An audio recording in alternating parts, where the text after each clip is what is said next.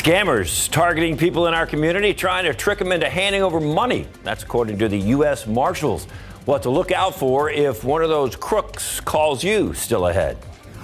And back to school season can be a lot of fun for children. However, for parents, it can be stressful, and traffic only adds to that stress. This noon, Stephen Cavazos explains why one intersection near a local high school has several parents concerned. Live from KSAT 12, the news at noon starts right now. Evacuations continue from Kabul today. The Pentagon saying this morning that there was only one suicide bombing location outside a gate at the Kabul airport, not two.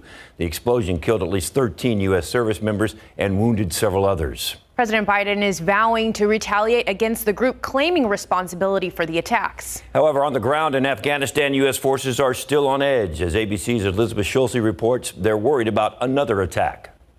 After the deadliest day for American troops in Afghanistan in more than a decade, the U.S. is moving forward with its evacuation mission. We have the ability to include evacuees on U.S. military air airlift out of Afghanistan until the very end. Ten Marines, one Navy medic, one Army soldier, and one other service member were killed in the explosion. More than 160 Afghans are dead, scores more wounded. ISIS K is claiming responsibility for the suicide attack, the bomber detonating his explosive device at an airport entrance. President Biden now vowing retaliation. We will not forgive. We will not forget.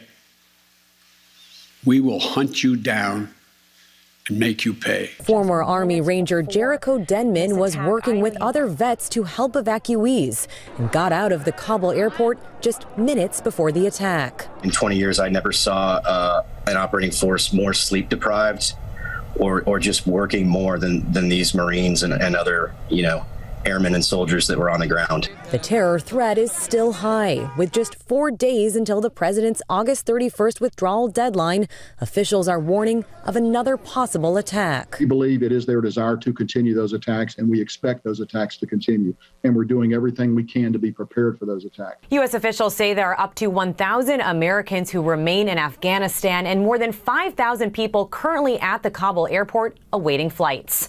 Elizabeth Schulze, ABC News. Washington.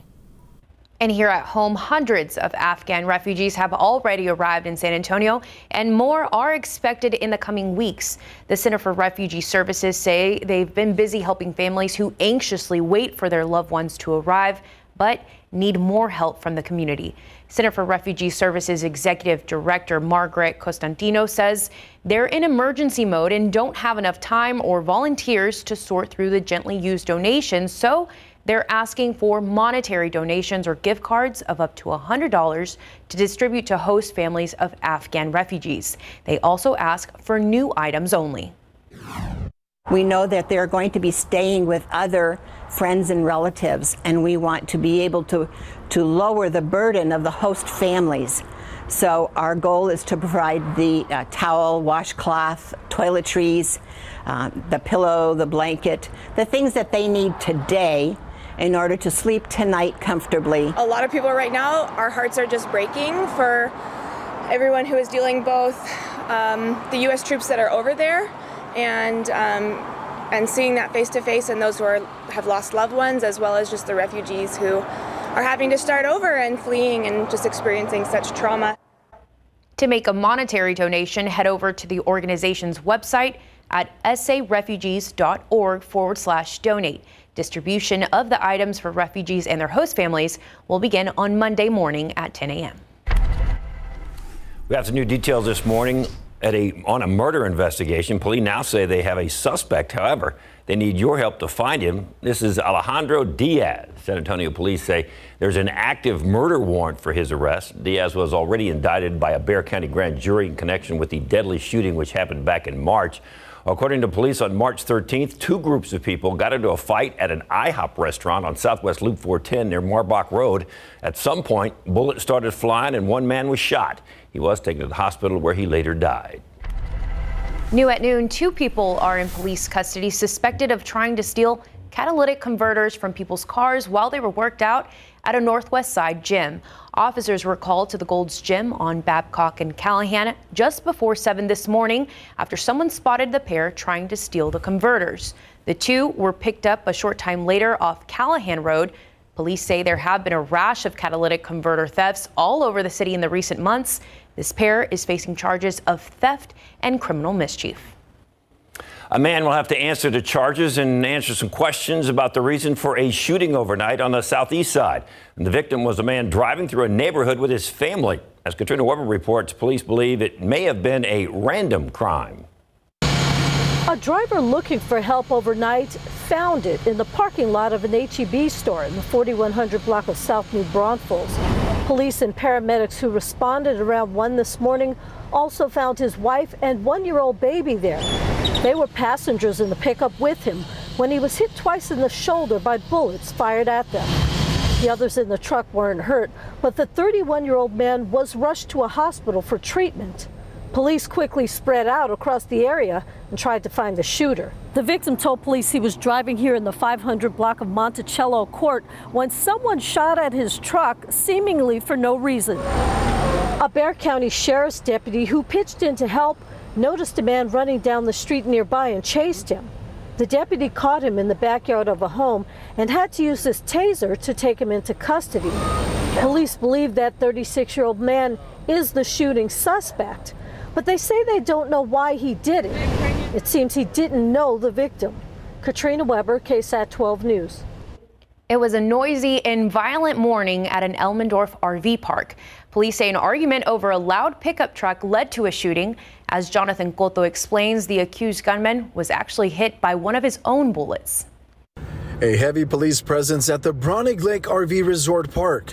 Police were responding to reports of a shooting just after 2 this morning.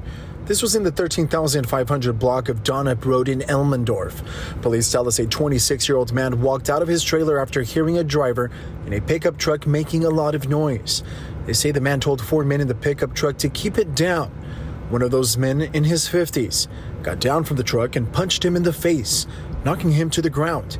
Officers say the 26 year old went back into the trailer, got his gun, and shot one of the four men, grazing him on the ear and shooting him in the leg. They say the other three males went on to beat the man, taking his gun. He was shot in the process.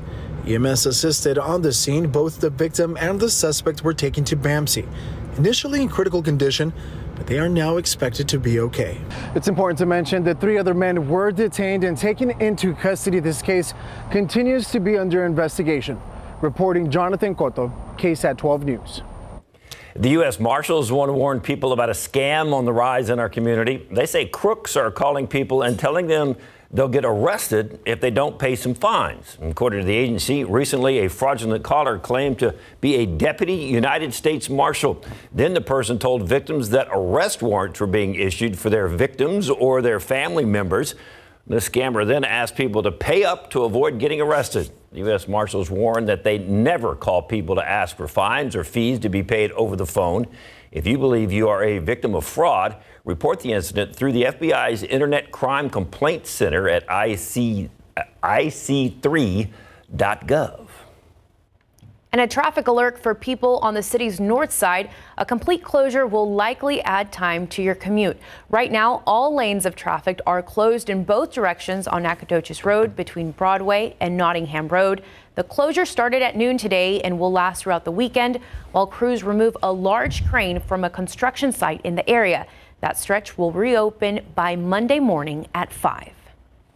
Concerns over an intersection have some wondering whether it's a school zone or danger zone. The intersection of Jackson Keller and Montview outside Lee High School is causing a worry, and some believe traffic is getting out of hand. Our traffic authority, Stephen Cavazos, heard some of those concerns and went looking for the answers. I am thrilled with the teachers and the staff. Everything's been wonderful. Hillary Ross couldn't be happier. Her daughter attends the International School of the Americas located within Lee High School. The only problem dropping her off in the morning has been extremely dangerous. Ross says she has spotted a number of traffic issues at the intersection of Jackson Keller and Montview right outside the school. That includes drivers making wrong turns, students starting to cross traffic, and even drivers attempting to direct traffic. Ross says she has already talked with other parents who share the same worries. Better get here early and um, don't get hit. Thankfully, there have been no reports of people being hit by cars, according to the San Antonio Police Department. But Northeast ISD is already working to improve the area. A police officer is currently patrolling the worry spot. A spokeswoman says there is only one way for traffic to enter and one way to exit, and the district is aware that it can be an issue. However, the district still wants drivers and students to be patient and vigilant when going through school zones. Give some space and some time, and you know, typically those school zones aren't more than a couple of hundred yards long. And so if uh, drivers can just slow down, it's not a big uh, delay in their morning commute, and uh, it could save a child's life. Northeast ISD will continue to look for other options if the situation does not improve. Stephen Cavazos, KSAT 12 News. Tropical storm Ida continues to strengthen. We've got the latest track for you coming up. And it was the first night of high school football action last night. Larry Ramirez had some highlights for us. Coming up. San Antonio is the home to the only World Heritage Site in Texas. How the missions will be at the center of the celebration, which will include virtual and in person events. That's after the break.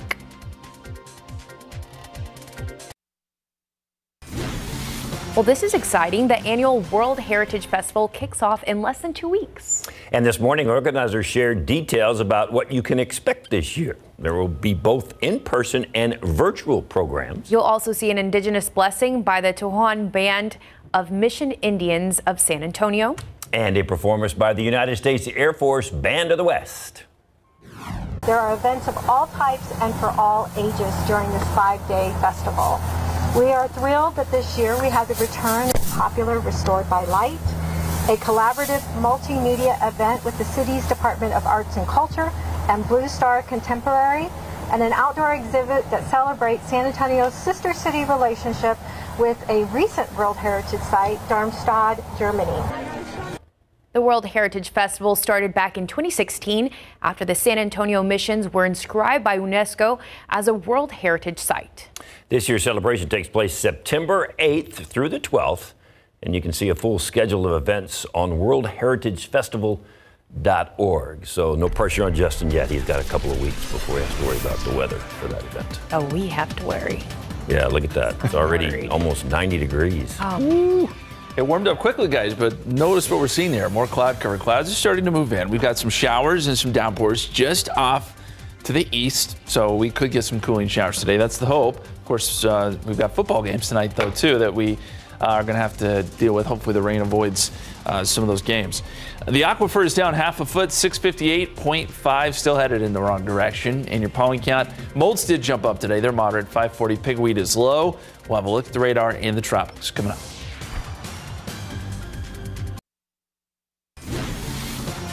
Right, chance of some rain, so we got to watch it tonight because there's a lot of high school football action around town going on. But the clouds are, I guess, what's going to help because I was out there today and a little cloud helped a lot Just to cool down. cloud? Just a little bit. A little so I'm guessing for those guys uh, practicing out there, those clouds are helping them. Yeah, clouds will help. It's the the lightning that's not going to help us tonight if we have those games. Hopefully, it all times out well. The, these downpours usually move along pretty quickly, so if there is a delay or something like that, we don't anticipate a lot of that. Uh, it'll hopefully happen pretty quickly. And maybe we'll get some beneficial rain too. Let's look at the radar. And uh, you see where the action is right now. We've got some showers and some pretty good looking thunderstorms out there. Nothing severe, but uh, some good downpours. And these are there in Karnes County and Gonzales County off to the east of San Antonio. You see them here. And those are the lightning strikes. Another nice little cell starting to develop just to the south and east of Cuero. So let's zoom in a little bit closer here.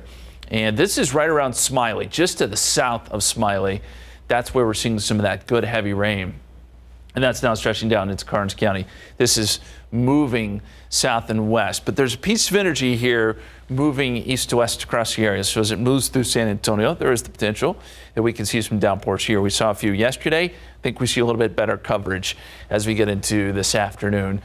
And we are starting to get some instability out there.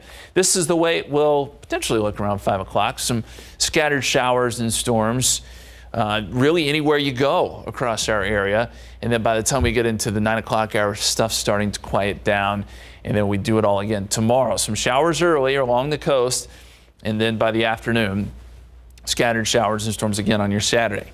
After tomorrow, though, rain chances start to go down get some drier air and more quiet conditions next week. So as far as rain chances are concerned today and this evening, I think our best shot is between 3 and 7 o'clock here in San Antonio. Of course, a lot of those football games get started around 7 o'clock. So just uh, watch the radar closely, have the KSAT weather app with you, and we'll, we'll keep you posted if anything does pop up around here. Uh, there's the scene outside right now. Clouds really starting to build in. 89 degrees at the airport, 90 at Stinson, 87 Kelly. 86 at Randolph. South and easterly winds anywhere from 5 to 10 miles per hour. And you can see the clouds starting to shift through. Uh, 87 Port SA, 90 Stinson, 86 Randolph, 91 right now in New Braunfels. A little bit less cloud cover out west. It's 93 in Del Rio, 90 in Carrizo Springs. And the forecast high today, 93. That's a little bit cooler than yesterday, I think, because the cloud cover and that potential for rain. Heat indices will be it's uh, near 100 south of San Antonio, but again, just not as hot as it was yesterday. Current setup, we have a little area of low pressure moving through. This is not tropical. This is not associated with Tropical Storm Ida. Just a little piece of energy that works uh, east to west across the area, and that's why our rain chances are a little bit better today and tomorrow. There is Ida, Tropical Storm Ida. Winds right now at 75 miles per hour. This is a new update that's just coming in. Came in at 1215 and this is moving northwest at about 15 miles per hour. So it is now a hurricane. We'll update that Hurricane Ida based on the winds. That's uh, just coming in as it moves across Cuba. Category 2 storm Saturday evening, winds at 105 miles per hour. Then it will move towards uh, Louisiana as a Category 3 hurricane, potentially a major hurricane, winds at 120. This would be Sunday morning. Hurricane watches out for basically the entire state of Louisiana, and that includes Mississippi as well, over to Mobile, Alabama. Uh, potentially making landfall, we think, Sunday evening as a Category 3 storm. This is going to bring big time storm surge, lots of rain, and obviously very strong winds to parts of Louisiana before moving north and dissipating. Some of the storm surge numbers, these are preliminary, but we think storm surge will be a big issue. 7 to 11 feet there around New Orleans as uh, this storm comes in. So unfortunately, it looks like Louisiana is going to get pretty, hit pretty hard by this uh, by this hurricane now. 40% chance of rain today and tomorrow, 20% chance Sunday. Drier conditions and hot conditions for next week, guys. Thank you, Justin. Happy birthday, by the way. Thank you very much. You know, some teams usually take maybe a week or two to find their stride. Not our team. You guys were all over it last night to kick off the football season, man. We were all over town. Lots of great games. Lots of great highlights. Yeah, thanks to uh, Texas Sports Productions, we were able to have some extra games yeah. last night. But yes, our entire crew did a fantastic job. And one of our big games last night was Brandeis and O'Connor. And Broncos sophomore quarterback uh, J.C. Evans came off the bench, and he had a huge game. We got that and many more highlights coming up.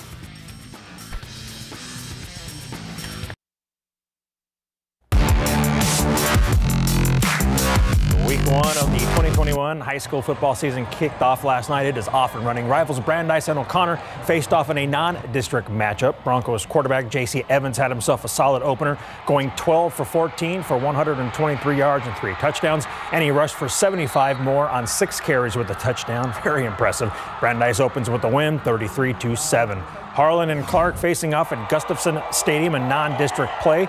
Clark Cougars quarterback Nick Lee completed five of seven passes for 112 yards and two touchdowns. Clark would score first. Lee to Chris Gertz, 10 yards to make it 7 0 Cougs. And Clark is feeling good today after winning 28 to 14. Harlan had six turnovers in the loss, three fumbles lost, and three picks. The Battlin' Billies of Fredericksburg visiting the Sam Houston Hurricanes at Alamo Stadium. Fredericksburg, our running back John Fritz is one of the big Billies on campus with 47 yards rushing and one touchdown. Jesse Leha had 163 yards rushing and three touchdowns that helped the Battlin' Billies win 56 to 6. Leha also added a TD catch. Let's run over to the SAISD Sports Complex with the Burbank Bulldogs and Pearsall Mavericks. Pearsall with the ball trying to even things up, but the snap is low and the ball is loose. It looks like the Mavs recover, but Jeremiah Vallejo knocks it out of the running back's hands, and Chris Mendez jumps on it for the Dogs. Burbank trying to get tricky with the flea flicker here, going deep, but it's off target. And Jorge Herrera for Pearsall is there for the interception, and Burbank takes it 17 to 7. And here it is, folks, our first broadcast on KSAT Me TV of Texas Sports Productions broadcast of the Madison Mavericks and Clemens Buffaloes last night. Clemens returns the opening kick 69 yards to the Madison 7. Very first play, they cough it up. Miguel Becker fumbles for the Mavs. Aaron Bowles catches it as it pops loose. And Madison capitalizes, driving 97 yards when quarterback Caden Mata scores from four yards out. 7 0 Mavs, and the Mavericks win a low scoring contest 14 to 5. We're off to Rutledge Stadium where Veterans Memorial was facing Del Rio. Del Rio. Alex Oliveto wide open. Weston Ross with a Patri- Patriots score. That was just too easy, and the Pats roll 55-20. And for the first time in school history, this is pretty cool. The Holy Cross Knights played under the lights after they were installed this offseason. Holy Cross is up 7-2 in the third on Boerne Geneva. The Knights with the ball, but the deep pass is picked off by Aiden Christal and returned all the way inside the Knights' five-yard line. Two plays later, Grayson Donald to Ethan Valdez with a two-yard score, and it's eight to seven. Boerne Geneva. That said to the big game coverage scoreboard for that final and more scores. Boerne Geneva takes it 19 to 15. Veterans Memorial finds the win column 55-20. Southside Cardinals won big time 62 to 14. Southside QB Richard Torres had eight touchdown passes and 302 yards passing, and Santa Gertrudis Academy shut out South San West Campus 46 to nothing. And our first big game coverage road trip this season goes down tonight with Blanco at Davenport, East Central at New Braunfels Canyon, and San Marcos at New Braunfels. We'll hear from Davenport Wolves during 1230 Sports. The horn.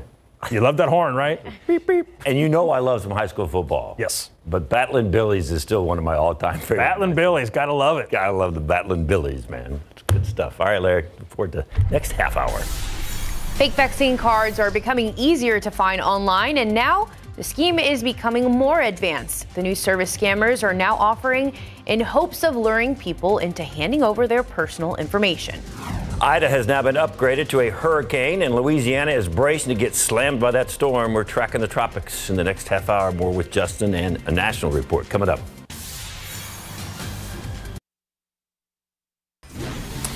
It happened just a few minutes ago. Ida now officially a hurricane, and officials in Louisiana have already issued an emergency declaration as they prepare to get hit by that storm. Right now, Ida is pushing across the Caribbean. ABC's Victor Oquendo has more.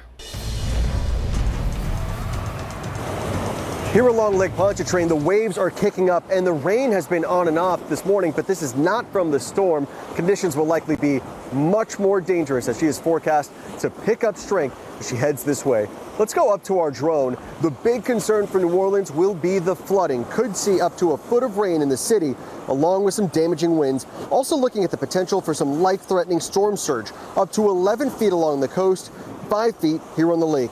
Louisiana's governor has declared a state of emergency. Hurricane conditions could start as early as tomorrow night. So if you're in the watch area, the time is now to get your plan in place. Hurricane season is heating up. The Gulf could not catch a break last year. Here we go again. Victor Oquendo, ABC News, New Orleans. Yeah, they're getting ready for some uh, some more severe weather, as if New Orleans needs another hurricane. Yeah. Really? Those poor people over there. Louisiana, I mean, they saw what uh, six systems last year, and here we go again. I'm just a bad situation for them, and uh, this hurricane is is going to be, I think, pretty significant as it moves into the Gulf. It has now become a hurricane, by the way. We just got that update at 12:15 from the Hurricane Center. So let's look at it. Uh, it looks pretty well developed here. Yes, it is moving over Cuba, but the part of Cuba it's moving over. Uh, the the terrain isn't uh, isn't going to really shred this thing apart. It's sort of low lying there on the end of the island, so it'll be able to cross Cuba without weakening much at all. It looks like at this point, and then reemerge into the Gulf and strengthen as it does, and that's why we think it will become a major hurricane. By tomorrow, we're probably looking at a Cat 2 storm here, winds over 100 miles per hour sustained, and then by Sunday. 120 mile per hour winds. This will be Sunday morning, and then uh, moving into uh, parts of New, uh, not New Orleans, but New Orleans will feel it, but parts of Louisiana here is a Category 3 storm. Now, there is still you know, a cone of uncertainty depending on where this thing makes landfall. New Orleans could be on the bad side of this storm with some pretty huge storm surge, so that'll be something we'll be watching Sunday evening. Everything associated with Ida will stay well to our east, so it does not have any impact on our forecast. Very quickly, though, I do want to look at the uh, radar. We have some showers and storms developing out there east of San Antonio. Piece of energy working east to west across the area, so we should see more development even here in town over the next few hours. So be prepared for a few downpours here and there. They shouldn't last too long. We'll put in a 40% chance of rain. Temperatures up around 93 this afternoon. Easterly winds 5 to 10 miles per hour. We'll get you another radar update coming up here in just a few minutes, guys. Thank you, Justin. And more than 633,000 Americans have died from COVID 19. And now a grim prediction shows just how many more lives could be lost over the next three months. As ABC's Dave Packers explains, hospitals in some states are struggling to keep up. The U.S. now reporting more than 800 deaths per day from COVID 19, the highest average in five months. A dire forecast estimates nearly 100,000 more Americans could die of COVID by December 1st if current trends continue. Across the country, the Delta variant now accounts for nearly 99% of all new cases. These side by side maps show the dramatic spread of the virus in just 10 weeks. Kentucky's governor emotional as his state hits a new record for hospitalization for the fifth straight day. Seeing nearly 5,000 cases and 65 Kentuckians that we lost in just one day's report is um, tough. In Florida, 95% of the ICU beds in the state are full. I think a lot of these cases could be avoided by getting the vaccination. 58 year old Lisa Stedman and her husband were both diagnosed with COVID in early August. After being in the hospital for eight days, she returned home to find her husband had passed away from complications due to COVID 19. It was just like walking into a horror scene. It's just been horrible. Cape Coral Hospital running out of morgue space, now bringing in refrigerated trucks. Our morgues are just not designed to hold that many bodies. This is not being um, exaggerated or blown out of proportion by the media. This is real. In Texas, the Houston Health Department confirming the city's first COVID pediatric death a boy without underlying health conditions between the age of 10 and 19 who was not vaccinated. But vaccinations in the city are on the rise after a new incentive program was launched that provides $150 gift cards to anyone who rolls up their sleeve. Dave Packer, ABC News, New York. Now to a warning. New concerns over advanced schemes after a dramatic rise in fake vaccination cards. That's according to the Department of Health and Human Services. It says the fake cards are flooding the market, and computer experts say some sites don't just offer fake cards. They claim that they can hack government and hospital databases to change your vaccination status for a price. The CEO of a company that tracks counterfeits and e-commerce scams says in order to buy a fake card, you have to hand, off, hand over a lot of personal information that could leave you vulnerable. They can use your personal information to blackmail you down the line, or they can just sell it uh, for other people for nefarious acts. You can end up being hacked yourself, basically. HHS says it has uncovered up to 20,000 websites related to COVID 19 scams. And fans of Flamin' Hot Cheetos now have a perfect drink to pair with the snack. Details still ahead. And two young ladies playing for the Jack Johnson Jaguars freshman team got to see some action last night. Larry Ramirez with their big night coming up in sports. A wrestling star used to fighting opponents in the ring is now fighting for your attention in a new comedy. A preview coming up after the break.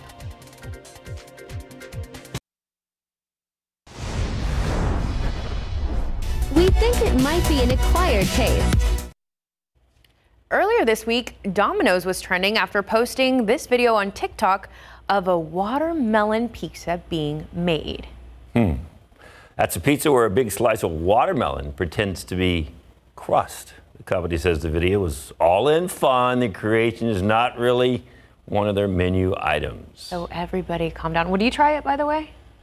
If it was real? I'd probably take a bite, but you know. Who knows? Well, not to be outdone, Mountain Dew has a unique product that you can actually get your hands on. PepsiCo has introduced a flamin' hot Mountain Dew. Oh man. They describe it as a unique blend of spicy and classic sweet citrus flavor. Oh. The new soda comes in a fiery red can to match the Flamin' Hot brand. It will be available at the end of this month, but only on Mountain Dew's virtual store while supplies last. Hmm. John Cena is a wrestling superstar who now seems to have a hold on movie audiences. His latest outing for Hulu is the outrageous and R rated Vacation Friends. ABC's George Pennacchio has a preview. Hope you're comfortable in a foursome. Oh, there's at least one girl involved. John Cena heads the cast of Vacation Friends. The movie is about two couples who meet while vacationing south of the border. One is reckless and wild, but generous and loyal. The other, much more traditional. It's an entertaining ride. It's the movie's called Vacation Friends. I think everyone has a conceptualization of what that means. And of course, it's a comedy, so we take it to an absurd level. This is a private event. Oh, it's cool. We know the bride and groom. We met these two animals down in Mexico. Why does the salt not taste salty? Oh, because it's cocaine. What? I don't do drugs. Even on vacation? And then those moments of ridiculousness happen very spontaneously, and you never know what you get out of them. That's the power of humor, right? To to bend all the yuck that's going on in our lives to just like give us a, a moment of respite. I love it. The only reason I'm gonna do this is because I love you. Mm-hmm. It's because you're my fiance now. Fiance? Yeah. Well, I like the sound of that. mm-hmm. We do too. Jesus, fiance. John is a consummate professional. He's so he was so gracious and so good to work with. He is the real deal. Like how he shows up, what you think about him, he's that guy. And he and he just it's from a very genuine place. When someone else makes a choice to invest in you, I never know where the origin of that investment lies. All I know is that it's an opportunity and it's mine to to make the most of or squander. George Pennacchio for ABC News. Looks kind of funny. I'd watch it for sure. You think so? John, John Cena. John Cena? Yeah. All right. Is that, is that the only reason? No, I'm just kidding. Justin, hello. Hello. It does look funny though. Uh, 89 degrees uh, so far today. 75 the low this morning. Averages are 95 and 74. So we'll be a little bit below average, I think, today with the chance for some downpours. 106 is the record high set back in 2011. We'll take a look at the radar coming up.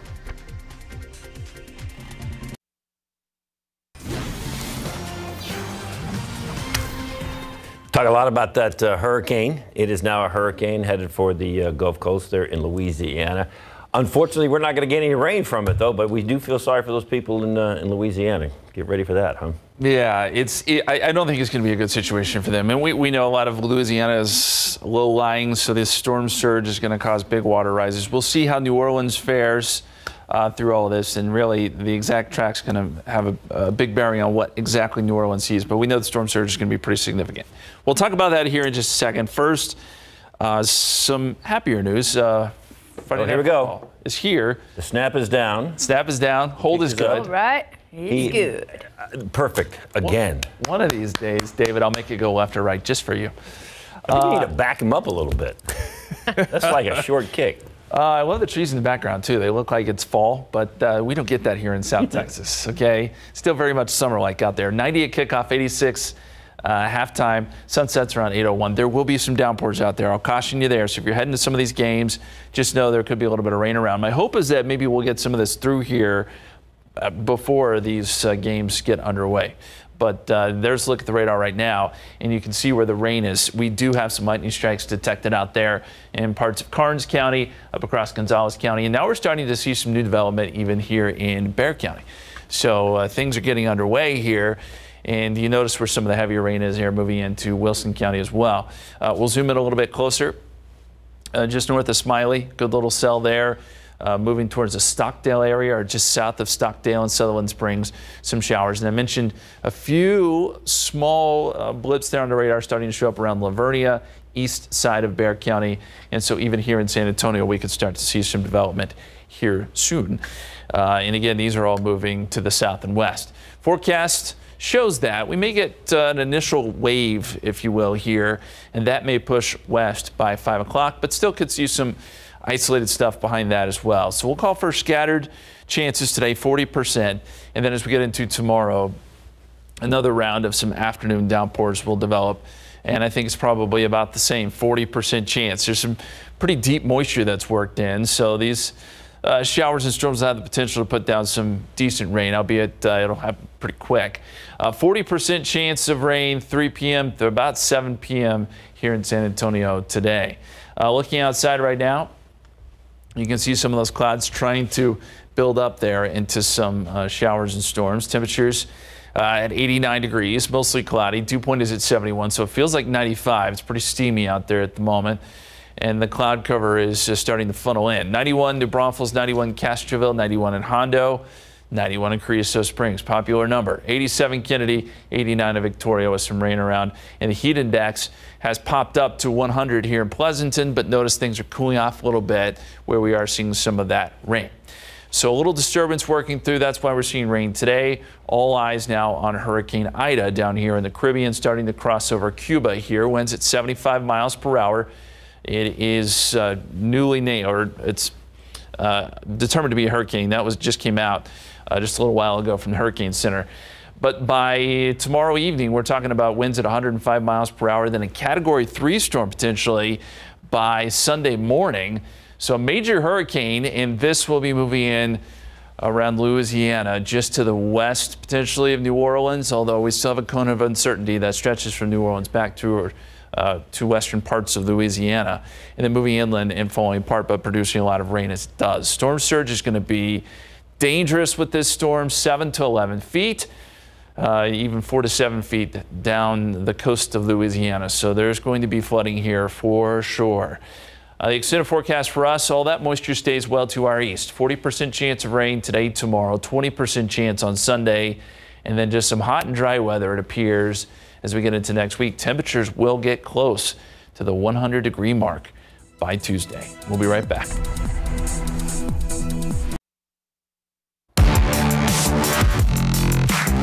First BGC road trip this season will kick off tonight at Davenport High School, home of the Wolves. Entering their second season of football, the Wolves are still sub-varsity and will not play in a district until next season after the UIL's 2022-2024 realignment. Starting a program from scratch is pretty darn cool.